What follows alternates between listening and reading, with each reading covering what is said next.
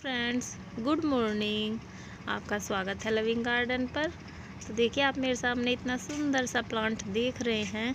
ornamental cabbage बोलते हैं इसे। इस प्लांट को वैसे कई सारे नामों से जाना जाता है और इसे ब्रासिका वाले रेसिया के नाम से भी जाना जाता है। लेकिन कॉमन सा जो नेम होता है, इसका केल होता है। वो नर्सरी में आसानी से बोल सकते हैं, इसलिए इसे केल बोलते हैं।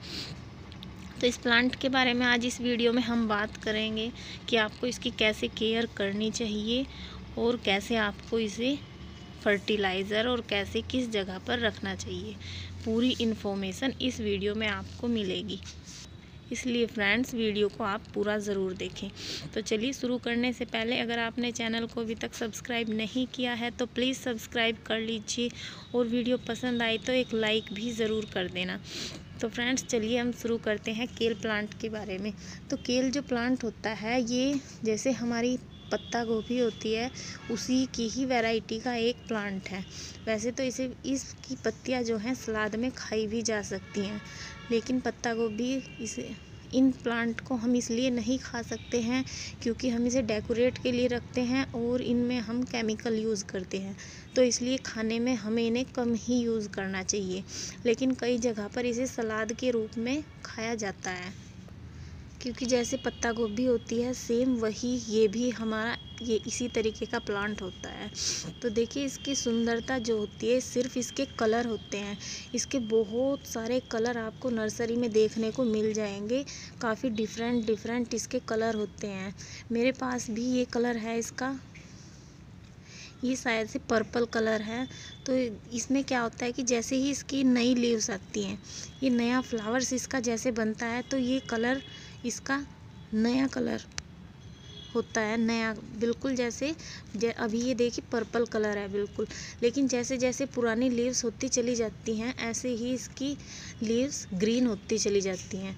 तो ये देखिए जैसे पुरानी हो गई हैं तो ये ग्रीन होती जा रही हैं। बहुत सुंदर प्लांट लगता है। इसकी सुंदरता सिर्फ़ इसकी लीव्स से ही जा होती है। तो इस प्लांट को लगाने से कैसी जगह पर आप इसे लगा सकते हैं। आप इस प्लांट को ऐसी जगह पर लगाइए जहाँ पर इसे अच्छी दो से तीन घंटे की सनलाइट मिल जाए। इससे ज़्यादा वैसे तो सर्दियों में ज़्यादा धूप निकलती भी नहीं है। हमारे यहाँ भी कई दिन में आज हल्की धूप निकली है। ज़्यादा धूप नहीं निकलती है, लेकिन फिर भी मैं यही सजेस्ट करूँगी कि आप इसे सिर्फ़ ऐसी जगह पर रखिए जहाँ पर इसे थोड़ी दो से तीन घंटे की सिर्फ़ सनलाइट मिले। उससे ज़्यादा आप इसे धूप में ना रखिए। क्योंकि उससे ज़्यादा धूप में रखने से क्या हो गया कि ये जो इनकी पत्तियों का कलर होता है तो बहुत सुंदर कलर इनका छाया में ही दिखता है ये, और फिर ये जल्दी से फेड हो जाता है, ज़्यादा तेज़ धूप से। तो फ्रेंड्स, अभी बात करते हैं इसकी पानी की। तो पानी आपको इसमें कैसे डालना है? तो जैसे ही बाकी के प्लांट में स्प्रे करके पानी डाल देते हैं, इस प्लांट में आपको पानी स्प्रे करके बिल्कुल भी नहीं डालना होता है, क्योंकि इसमें देखिए जगह कम होती है। यहाँ पर देखिए तो इनकी लीव्स के बीच में गैप नहीं होता है। बहुत कम जगह इनमें होती है स्पेस बिल्कुल भी नहीं है। तो अगर इनमें बीच में पानी रुक जाएगा तो इसमें बीच में फंगस लग जाएगी। इसलिए आपको इसमें स्प्रे करके पानी बिल्कुल भी नहीं डालना है।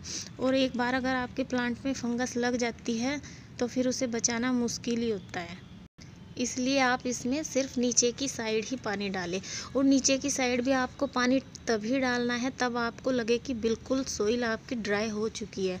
तो मैं देखती हूँ, दिखाती हूँ आपको मेरे प्लांट की सोइल तो देखिए बिल्कुल भी नमी नहीं है इस सोइल में।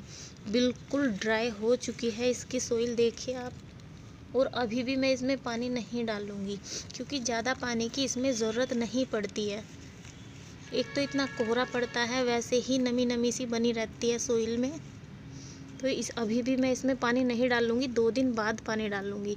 इसलिए दो से तीन दिन में आपको पानी चेक करके डालना चाहिए। तो फ्रेंड्स, पानी की बात हो गई है, सोइल की इसकी बात कर लेते हैं। सोइल आपको इसकी कैसे तैयार करनी है? तो सोइल में आप इसकी एक हिस्सा सैंड ले सकते हैं और एक हिस्सा सोइल और एक हिस्सा वर्मी कंपोस्ट।